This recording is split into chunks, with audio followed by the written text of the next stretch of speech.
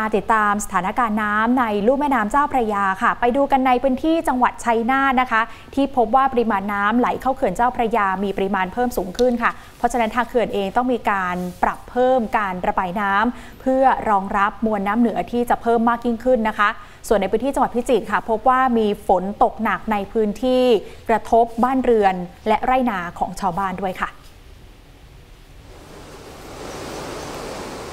ติดตามในพื้นที่จังหวัดพิจิตรกันก่อนนะคะ ที่ฝนตกหนักติดต่อกันบนเทือกเขาเพชรบูรณ์ และในพื้นที่จังหวัดพิจิตรส่งผลให้มวลน้ำป่าไหลหลากลงมาตามลำคลองสาขา เอ่อล้นเข้าท่วมบ้านเรือนรวมถึงนาข้าวสวนมะม่วงในพื้นที่ตำบลหนองปลาไหลตำบลวังทรายพูนอำเภอวังทรายพูนค่ะ พบว่ามีน้ำท่วมเป็นบริเวณกว้างเลย และกระแสน้ำก็ยังคงกัดเซาะผนังกั้นน้ำและคันไซไซย้อย บึ่งมะกรูด บริเวณหมู่ที่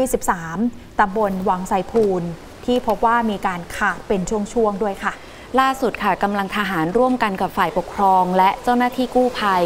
ลงพื้นที่ไปช่วยเหลือชาวบ้าน เบื้องต้นเนี่ยช่วยเหลือได้ 43 ครัวเรือนนะคะ แล้วก็เร่งขุดลอกทางระบายน้ำคาดว่าถ้าไม่มีฝนตกลงมาซ้ำอีก สถานการณ์น่าจะคลี่คลาย ภายในระยะเวลา 1-2 วันนี้ค่ะขณะเดียวกันท่านผู้ว่าราชการจังหวัดพิจิตร ออกหนังสือแจ้งเตือนประชาชนในพื้นที่เสี่ยงภัย ให้เฝ้าติดตามสถานการณ์ทั้งฝนตกหนัก และน้ำป่าไหลหลากจากทางราชการอย่างใกล้ชิดค่ะ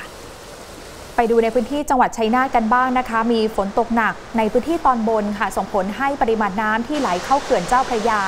เริ่มที่จะมีปริมาณเพิ่มมากขึ้นแล้ว มีแนวโน้มที่จะเพิ่มขึ้นอีก ถ้ามวลน้ำเหนือที่จะไหลลงมาสมทบ เขื่อนเจ้าพระยาจะมีการปรับแผนการระบายน้ำเพิ่มขึ้นค่ะ จากเดิมอยู่ในอัตรา 250 ลูกบาศก์เมตรต่อวินาที ปรับเพิ่มเป็น 500 ลูกบาศก์เมตรต่อวินาที ทางด้านของสำนักงานชลประทานที่ 12 รายงานว่า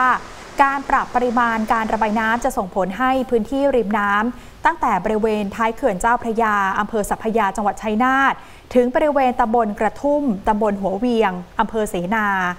ตำบลท่าดินแดนอำเภอผักไห่จังหวัดพระนครศรีอยุธยา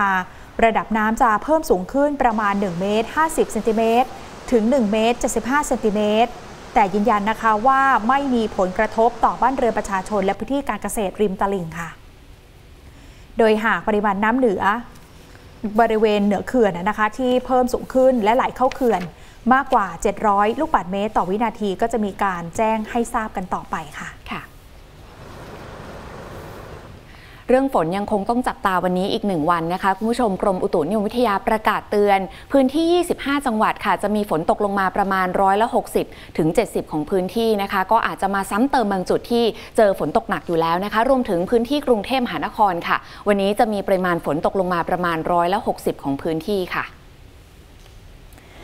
กรมอุตุนิยมวิทยาออกประกาศเตือนเป็นฉบับสุดท้ายให้รับมือกับฝนตกหนักถึงหนักมากบริเวณประเทศไทย โดยจะมีผลกระทบอีกวันคือวันนี้ 24 กรกฎาคมนะคะ เนื่องจากมรสุมตะวันตกเฉียงใต้กำลังปานกลาง พัดปกคลุมทะเลอันดามัน ภาคใต้และอ่าวไทย มีกำลังอ่อนลง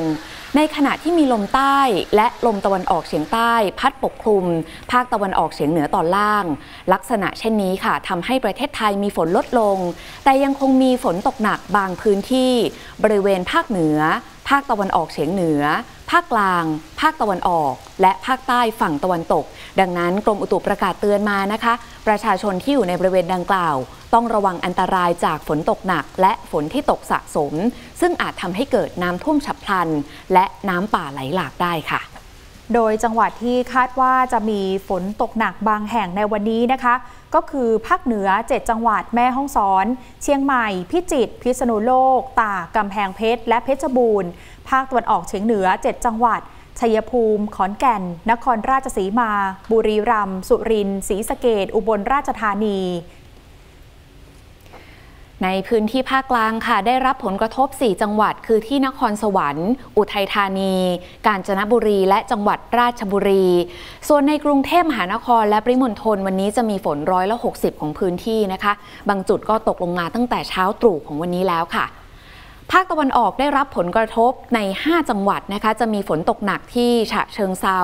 สะแก้ว ระยอง จันทบุรีและจังหวัดตราด ส่วนภาคใต้ได้รับผลกระทบมีฝนตกหนักในพื้นที่จังหวัดระนอง และจังหวัดพังงาค่ะ ขอบคุณที่ติดตามรับชม TNN News ข่าวเที่ยงค่ะ อย่าลืมนะคะ กด subscribe กดกระดิ่ง กดไลค์กดแชร์ ในทุกช่องทางการรับชมออนไลน์ของ TNN ช่อง 16 เพื่อที่จะได้ไม่พลาดในทุกรายการสด และคลิปวิดีโอที่น่าสนใจอีกมากมายค่ะ